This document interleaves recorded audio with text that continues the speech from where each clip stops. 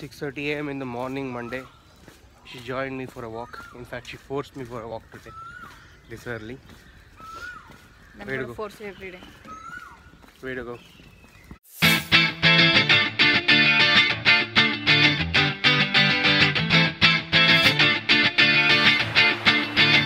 It's a Monday and uh, I have a lot of work. From morning till now I was occupied with work. And now I'm going to my bank to get some jewels and uh, some silver for the festival that's coming up. Pretty tight day, but I'm taking out time to do all this, which is which is really necessary. And after this, I would also be going to gym because that's really necessary too. I have always loved the process of getting from point A to point B by doing some work that essentially means completing the work that I am supposed to do. And today is one such day. I have a lot of work assigned and I'm very happy because I usually thrive under stress and pressure.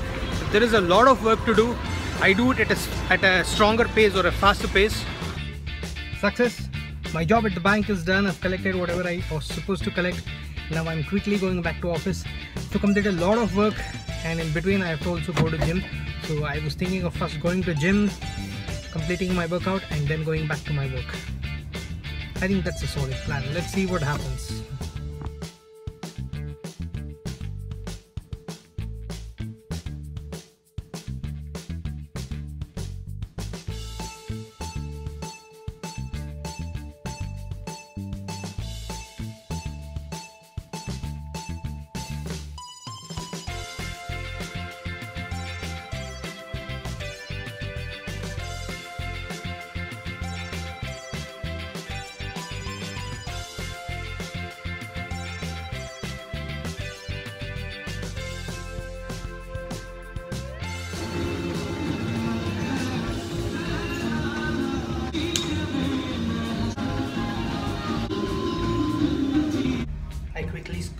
About 40 minutes of uh, weight workout and I'm done with shower.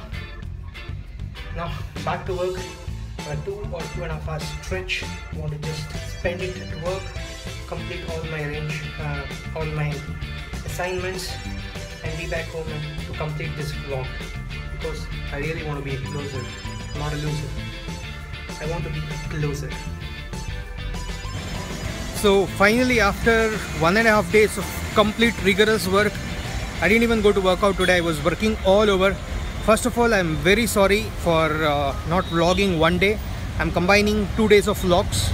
I filmed one part yesterday and the second part is today evening. So this is Tuesday evening. I am at that hotel there, going to Greens. So finally, I'm outside after one and a half days. It's almost about 36 hours of work continuously. I am proud of it and I'm happy to be out. No run today, no workout today. I just did a few push ups, but that's not enough though. But uh, I've completed a chunk of my work and only a little, a few, a small chunk is remaining which can be completed by today evening, and I'm happy about it.